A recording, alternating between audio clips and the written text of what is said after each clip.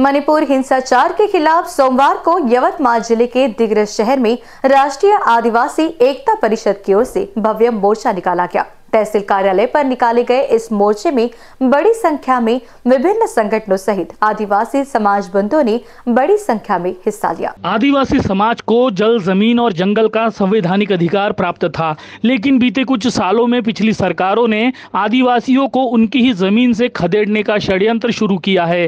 BJP सरकार भी यही कर रही है। इसी वजह से ही मणिपुर में हिंसा का तांडव रचा गया। इस हिंसाचार के पीछे दो समुदायों को आपस में लड़ाकर उन्हें वहाँ से विस्थापित करना ही इस सरकार का उद्देश्य लगता है, ताकि मणिपुर के जल ज़मीन और जंगल के गौन खनिजों को पूंजीवादियों के हवाले किया जा सके और आदिवासियों को वहाँ से भगाया जा सके।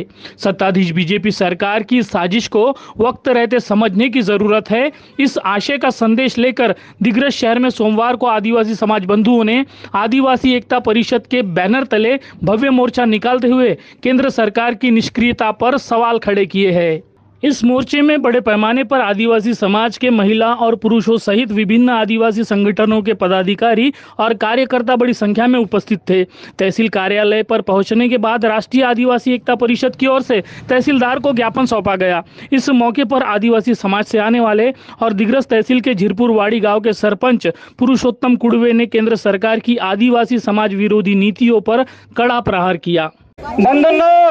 मागील अनेक वर्षापासून आपण सर्वजण पाहत आत आहे. सर्व समाजाच्या छोट्या मोठ्या घटना या ठिकाणी सातत्यानं भारतामध्ये होत आहे याच निमित्तानं अनेक विषयाचे म- निवेदन आणि मागण्या या ठिकाणी आपण या ठिकाणी आदिवासी एकता परिषदेच्या वतीने या ठिकाणी आलेलो आहे. मणिपूर राज्यामध्ये आदिवासी समाजाची फार मोठी त्या ठिकाणी संपत्ती आहे.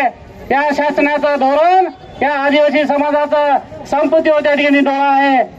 दोन समाज दोन समुदायामध्ये त्या ठिकाणी भांडणं लावायचे आणि त्या भांडणाच्या माध्यमातून आदिवासी समाजांना त्या ठिकाणी विस्थापित विस्थापित करण्याचं काम त्या ठिकाणी करण्याचं काम त्या ठिकाणी सरकारच्या माध्यमातून चालू आहे. त्या ठिकाणी राज्यपाल सुद्धा काही बोलत नाही.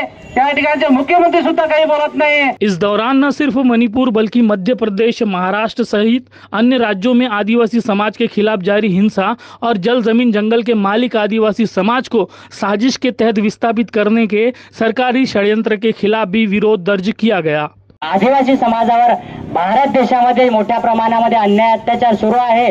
आणि तुम्ही आता सोशल मीडियावर पाहतच आहे मणिपूर येथे महिलेवर तिचे तिच्यावर अत्याचार तिला नग्न फिरवून तिची दिंडी काढण्यात आली. आणि मध्य मध्य प्रदेशमध्ये सुद्धा एका परवेश शुक्ला नावा ब्राह्मणच्या नावाच्या व्यक्तीनं मूत्र विसर्जन करून त्याच्यावर मूत्र विसर्जन केलं. आणि आमच्या आदिवासी समाजाला अमरावती जिल्ह्यामध्ये मेळघाट नावाचा तालुका आहे. तिथे दहा हजार आदिवासी समाजाच्या लोकांना विस्थापन केलं. आदिवासींना दोनशे चौवेचाळीसनुसार जल जंगल जमन जंगल जमीनचा मालक भारतामध्ये या देशामध्ये डॉक्टर बाबासाहेब आंबेडकरांनी संविधानामध्ये जे अधिकार दिले होते ते अधिकार सुद्धा ही व्यवस्था हे बीजेपी सरकार काँग्रेस सरकार आर एस एस सरकार आमच्याकडून हिरकावून घेत इन दिनों देश के विभिन्न राज्यों में हिंसाचार की घटनाएँ बढ़ रही है। मणिपुर में तो कानून व्यवस्था पूरी तरह से ध्वस्त हो चुकी है, जबकि हरियाणा को भी असामाजिक तत्वों ने मानो आग के हवाले कर दिया है। मणिपुर के साथ ही देश भर के विभिन्न राज्यों में जारी हिंसाचार पर केंद्र सरकार की चुप्पी कई तरह के सवाल खड़े कर रही है। ऐसे में राष्ट्रीय आदिवासी एकता परिषद ने मोर्चा खोलकर जो आवाज़ बुलंद की है, उसकी गूंज सरकार के कानों तक पहुंचाना ज़रूरी है। इन न्यूज़ के लिए दिग्रज से जुबैर खान की रिपोर्ट।